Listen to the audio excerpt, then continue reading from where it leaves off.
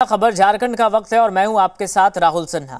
झारखंड की राजधानी रांची में बीजेपी ने प्रदेश की हेमंत सोरेन सरकार के खिलाफ आक्रोश रैली निकाली।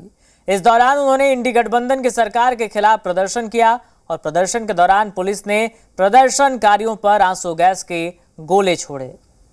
रांची में बीजेपी का आक्रोश नज़र आया। टॉप लीडर्स ने कार्यकर्ताओं में भरा जोश। ऐलान से पहले चुनावी बिगुल फूका।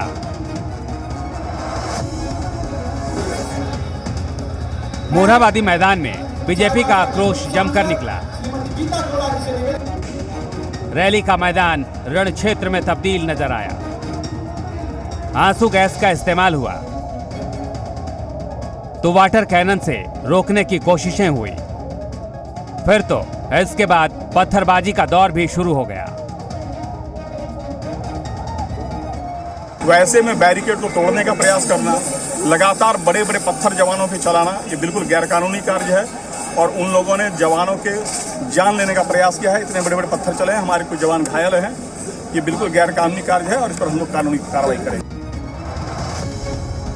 इस बवाल में कई बीजेपी कार्यकर्ताओं को चोटें आई तो पुलिस वाले भी जख्मी हुए।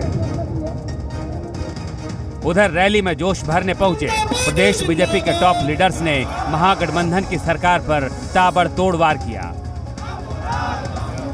नौजवानों से वो बिल्कुल डर गए हैं घबरा गए हैं और इस कारण से आप सोच रहे हैं कि शायद रोके आप कहाँ रोक पाइएगा? पूरे झारखंड में लोग निकल गए हैं।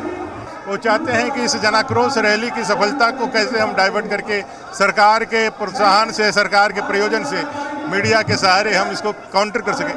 तो कुछ भी कर ले, कोई फ़र्क नहीं पड़ने वाला है। दरअसल, इस आक्रोश रैली के साथ बीजेपी ने ऐलान से पहले चुनावी शंखनाद कर दिया है। सरकार को कैसे और किन मुद्दों पर घेरना है, इसकी तैयारी शुरू हो गई है।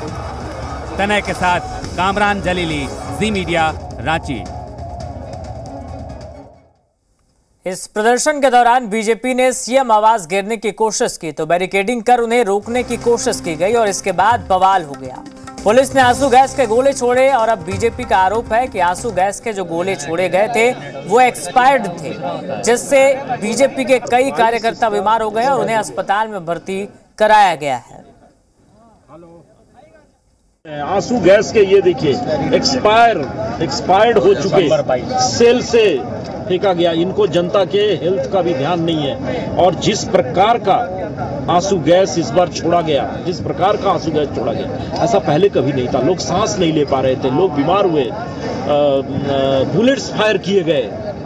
घायल हैं लोग, रिम्स में, हेल्थ पॉइंट हॉस्पिटल में लोगों को भर्ती कराया गया इस प्रकार का दमनकारी स्वरूप लोकतंत्र में किसी सरकार का होना चाहिए। तो इस बवाल के बाद बीजेपी के कार्यकर्ताओं को अस्पताल में भर्ती कराया गया है। बीजेपी प्रदेश संगठन मंत्री कर्मवीर सिंह और नेता प्रतिपक्ष अमर बावरी घायल कार्यकर्ताओं से मिलने के लिए अस्पताल पहुँचे। घायल कार्यकर्ताओं से मिलकर उनका हालचाल पूछा और बेहतर इलाज का भरोसा दिलाया।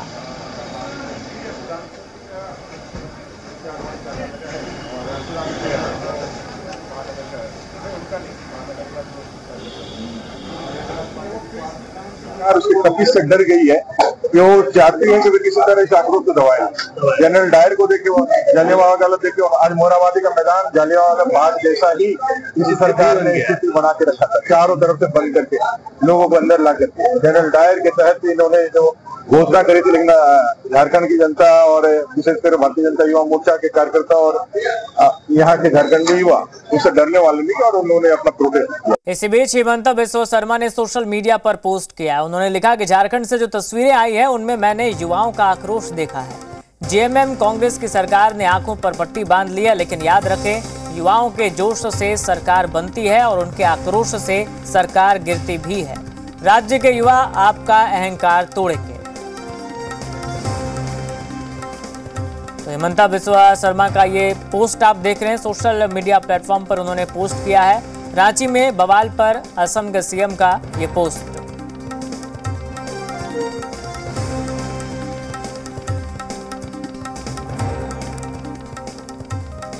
इधर जेएमएम ने बीजेपी युवा मोर्चा की आक्रोश रैली और केंद्र सरकार पर जोरदार वार किया। सुप्रियो भट्टाचार्य ने कहा कि आज का बीजेपी का कार्यक्रम पूरी तरह से असफल रहा और जेएमएम के कार्यकर्ता जो सड़क पर उतरे, उसकी गूंज राज्य से लेकर दिल्ली तक सुनाई दी।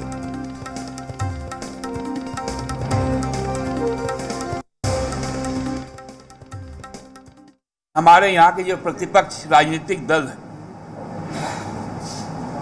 उन्होंने अपना एक कार्यक्रम आयोजित किया, जबकि जो प्रशासन को जानकारी दी गई थी कि भारतीय जनता पार्टी के युवा मोर्चा के द्वारा एक सभा की जाएगी मोराबादी मैदान, जो पूर्णतः लोकतांत्रिक ढंग की होगी, लेकिन वो समस्त आयोजन की जो तैयारी की गई थी,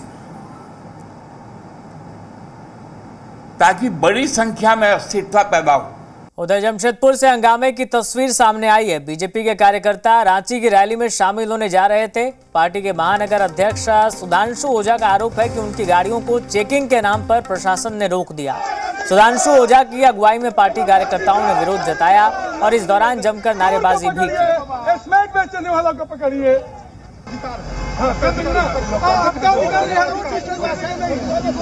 तो ये हंगामे की तस्वीर आप देख रहे हैं, जमशेदपुर की तस्वीर है। दरअसल जमशेदपुर से भी बीजेपी युवा मोर्चा के कार्यकर्ता बड़ी संख्या में शामिल होने जा रहे थे रांची की आक्रोश रैली में और आरोप है कि इस दौरान प्रशासन ने जानबूझकर चेकिंग के नाम पर इन्हें रोक दिया, जिसके बाद तमाम कार्यकर्ताओं ने विरोध दर्ज कराया और नारेबाजी की।